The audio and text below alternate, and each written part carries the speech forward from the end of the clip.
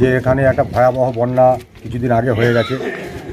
বহু সংস্থা থেকে নানা রকমভাবে আমাদের সহযোগিতা এখানে তানবিলি করেছে। এর আগেও আমরা অনেক তানবিলি করেছি মুন্সি নজিবুল করিমের নেতৃত্বে এবং খানাকুলের নেতৃত্ব আমাদের মুন্সি নজিবুল করিম। তার এতে তিরপল থেকে শুরু করে এবং এর আগেও ত্রাণ ত্রাণ দেওয়া হয়েছে।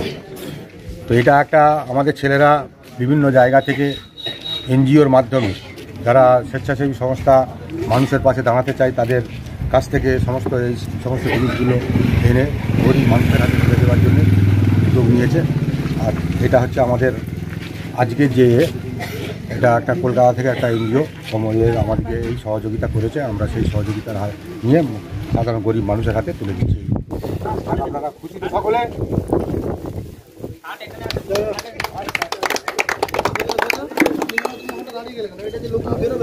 সকলে ওইখানে অত লোক দাঁড়িয়ে যাওনি? লাইন লাইন লাইন আস্তে আস্তে।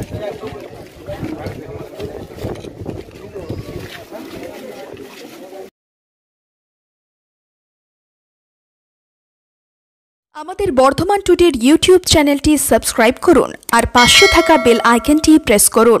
এছাড়াও ফেসবুকে কি আমাদের পেজটি লাইক ও ফলো করুন আর পেয়ে যান সমস্ত আপডেট।